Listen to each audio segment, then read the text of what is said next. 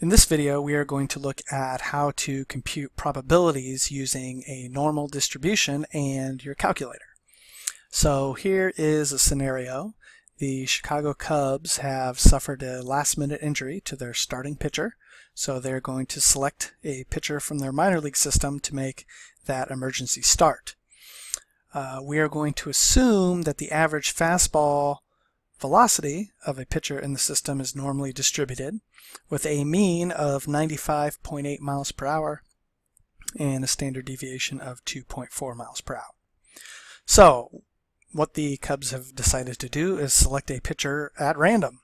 So if they do this, what is the probability that the pitcher they select has an average fastball velocity of more than 99 miles per hour? Okay, so we're assuming that fastball velocity is normally distributed. So I can draw my normal distribution. And we know that the mean is going to be right in the middle. So that'd be 95.8 miles per hour. We want to compute the probability that this pitcher selected at random will have a velocity of more than 99. Well, that would be somewhere over here.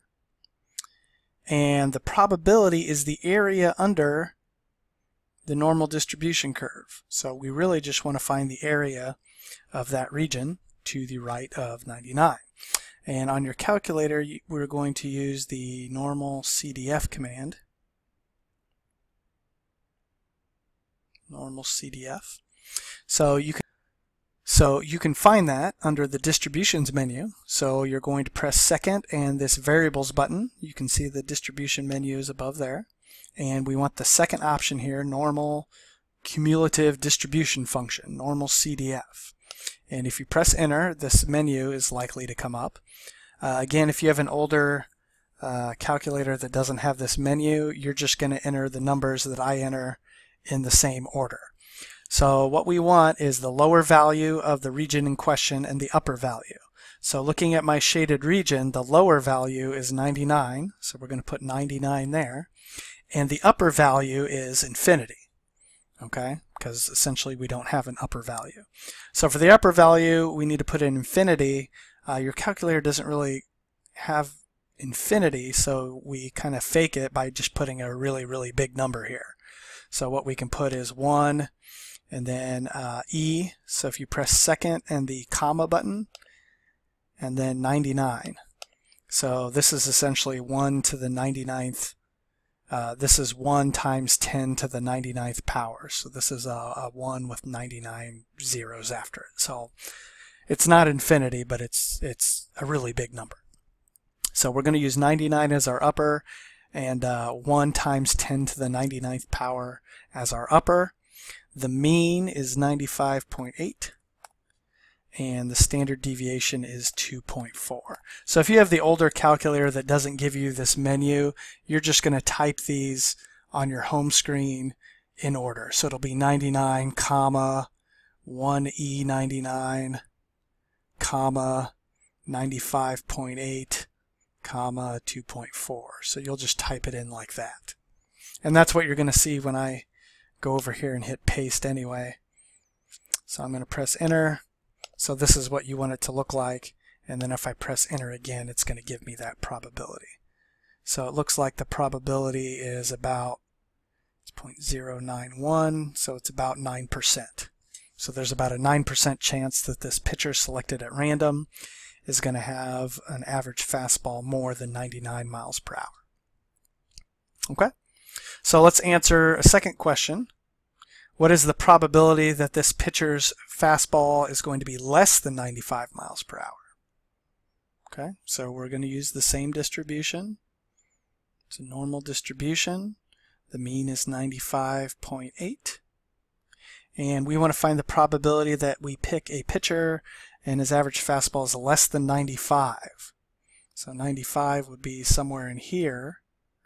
And we want the area to the left of 95 because we want the probability that it's less than that. So just based on uh, the previous example, uh, we're looking for a much we're looking for a bigger number here because the shaded region is is bigger than the one in the previous example. Okay, so again we're going to use normal CDF. And in this case, looking at my picture, the lower end of the region is going to be negative infinity. So I can type that in the same way. I'll do negative 1 e to the 99th power. My upper is 95, and then the mean and standard deviation are the same. So we just want it to look like this. So I'm going to go back into the distributions menu. I'm going to choose normal CDF.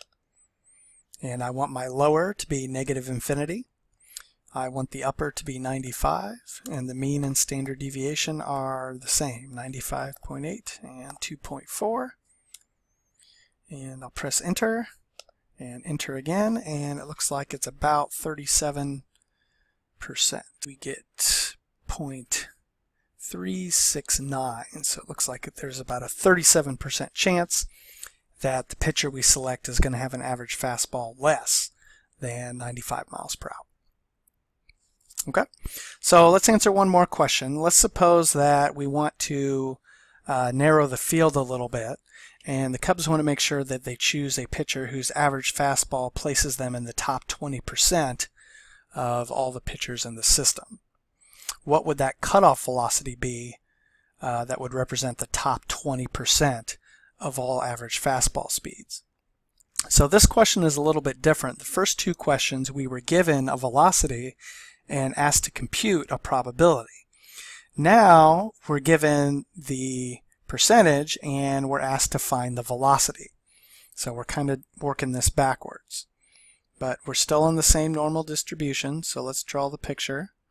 95.8 is in the middle. We want the top 20%, which means we need to find this average velocity that gives me an area to the right of 20%. Okay. So we have the area. The area is going to be 0.2. We need to find the value in our distribution that cuts off the top 20% from the bottom 80%. So we are going to be using a different command. We're not going to use normal CDF. We want to use inverse normal. So that's going to be inverse norm. Okay, that's still found under the distributions menu. So I'm going to go back into the distributions menu. Inverse norm is right below normal CDF. It's uh, choice number three. And press enter. And again, most of you will have this menu come up and we just enter the area. Um, when you use inverse norm, when it says area, it wants the area to the left. So that's important to remember we have to give the area to the left always. We're looking for 20% to the right, so our area to the left would actually be 80.80 or 80%. So that's what I'm going to put in. Oops, typed it in the wrong spot. So that's what I'm going to put in for the area. Okay, I want an area of 80% to the left. The mean is still 95.8. The standard deviation is still 2.4. So for those of you doing the uh, who don't have this menu, you're just going to type in these three numbers. Okay, and you always want the tail to be on the left if you give the uh, if you give the left area. Okay, so we can leave everything like that. We'll go ahead and press enter, and that's going to give me 97.8 miles per hour. So approximately 97.8 miles per hour.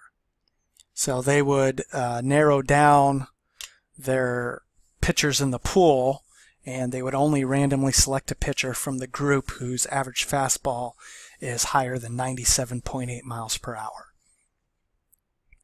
Okay. Hopefully you found this useful.